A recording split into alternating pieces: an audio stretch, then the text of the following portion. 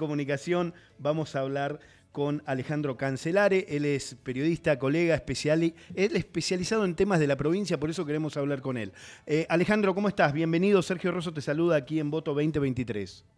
¿Cómo andas, Sergio? Buenas tardes, ¿cómo estás? Bien. Saludos para vos y toda la audiencia. Te agradezco mucho por la, por la comunicación. Teníamos muchas ganas que nos ayudes a entender. Quiero preguntarte, eh, ¿qué análisis haces sobre el reciente episodio de las fotos de Martín Insaurralde?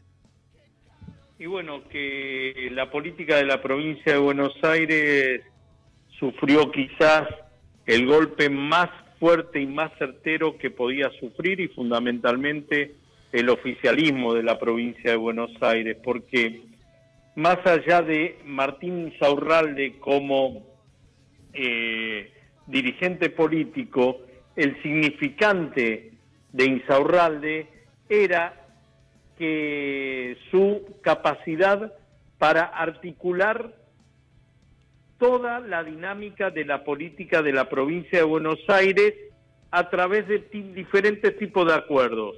Por eso manejaba dos áreas centrales, la Cámara de Diputados y el Instituto de la Lotería de la provincia de Buenos Aires. Son dos áreas que fundamentalmente significan plata fresca, plata negra, plata directa, pero además tenía esta capacidad de eh, interpelar a quien estaba con él en ese momento para determinar hasta dónde podían forzar o no diferentes situaciones. Yo creo que lo que pasó con Insaurralde no vino de la política, indudablemente no vino de la política, eh, vino de un área no externa a la política, pero no a la política partidaria.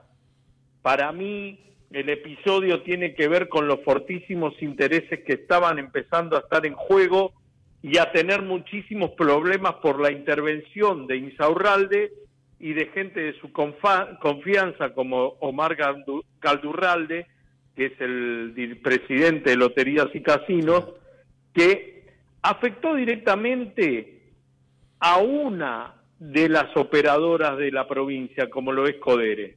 Bien. Y si ustedes recuerdan el padrino, en el padrino 2, ¿qué pasó cuando lo apretaste a Michael Corleone?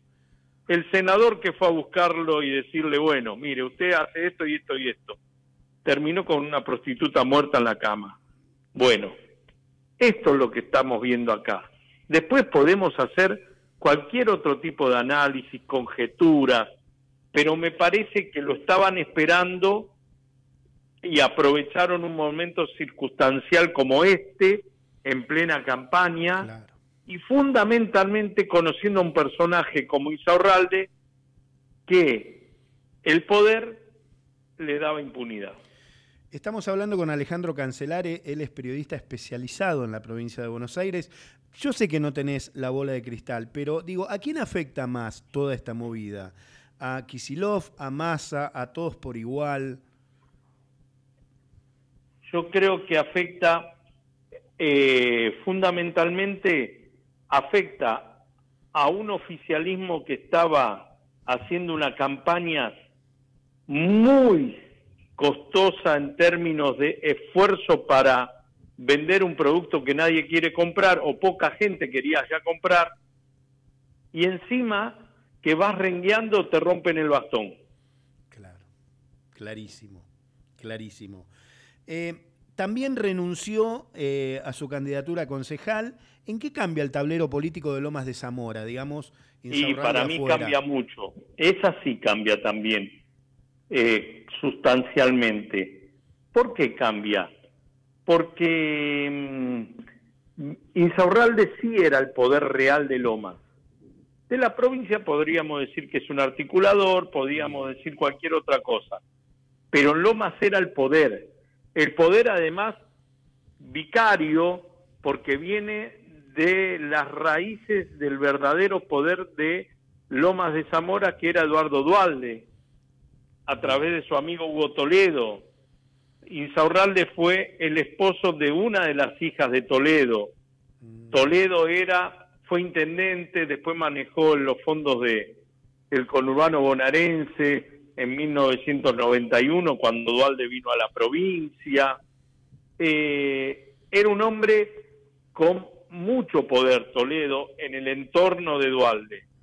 Y después se quedó Insaurralde al lado de un maestro para él, como lo fue Jorge Rossi, el ex intendente, mm. el armador del esquema de juegos que hoy conocemos en la provincia de Buenos Aires, el primer gran jefe del Instituto de Lotería de la provincia, de ahí la conectividad de Insaurralde con todo lo que tiene que ver con el juego. Bien, clarísimo. Eh, Kisilov además disolvió la jefatura de gabinete. ¿Ves ahí, digamos, alguna demagogia o ves alguna cuestión política como no tener que nombrar otro intendente allí? ¿Qué, qué análisis haces? Fue un golpe que aprovechó Axel Kisilov para sacarse de encima a Máximo Kirchner. Potente lo que me decís, muy potente.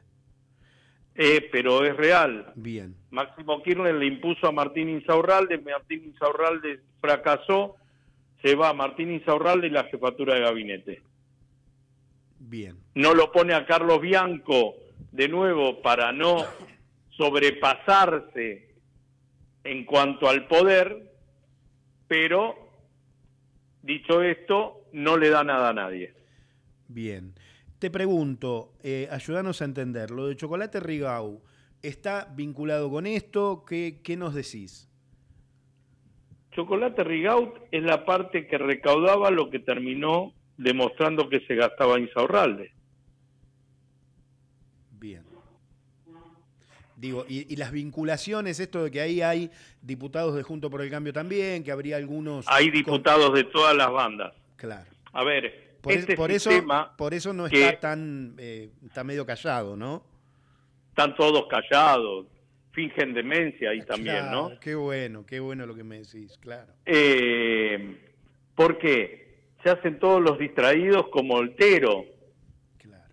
Eh, este sistema de las tarjetas de débito la instauró Horacio González en el 2009. Horacio González llega a la presidencia de la Cámara de Diputados y para no lidiar con los escandalosos y escabrosos manejos que se daban a través de diferentes fundaciones, ONG, que todo terminaba saltando, becas, subsidios, ¿qué dispuso? ¿Ustedes quieren manejar plata? Bueno, quiero gente real de carne y hueso contratado. Después, yo les dispongo de tanto presupuesto para contratos. Repártansela entre los bloques. ¿Qué hicieron los bloques? Pedían documentos nacional de identidad y los ponían supuestamente a trabajar en la Cámara de Diputados. Nunca iban a trabajar en la Cámara de Diputados. Le decían, che, mirá que te conseguí 50 mil pesos, la mitad es para la política, la mitad te la doy a vos, más la obra social, más la jubilación. Terminaban que no eran 50 mil, que eran 500 mil. Claro, claro, claro. Eh, a decir, en los excesos está el castigo. Bien, bien. Alejandro, ¿y cómo crees que va a terminar esto? ¿Va a quedar en nada? ¿Va a explotar en el aire? Eh, está explotando. Es como decir, ¿qué está pasando? ¿Por qué no explota? Ya está explotando. Bien, bien. Ya está explotando. Que todos pongamos los ojos ahí eh, significa que ya explotó un lugar que se le denomina el cuerpo, la casa, antes diputadora y otras eh, homologaciones que tuvo, que hoy esté bajo sospecha, y no bajo sospecha, bajo acusación firme, cambió todos los paradigmas, ya va a haber algo que va a pasar ahí, desde el armar una unicameral hasta una reformulación de los presupuestos como pasó con Dualde, cuando hizo el reordenamiento administrativo y todas las cámaras tenían que representar el 3% de sus presupuestos, de todo el presupuesto de la provincia, el 3% en los consejos deliberantes de todos los municipios. Bueno, algo de esto va a pasar. Bien. Alejandro, gracias por la comunicación. Eh, fuiste muy, muy, muy, muy claro y nos ayudaste a entender a mí, a nuestros oyentes, un montón de la situación de lo que está sucediendo en la provincia de Buenos Aires. Un abrazo grande para vos y para todo el equipo. Muchas gracias. Alejandro Cancelare, él es periodista especialista en la provincia de Buenos Aires.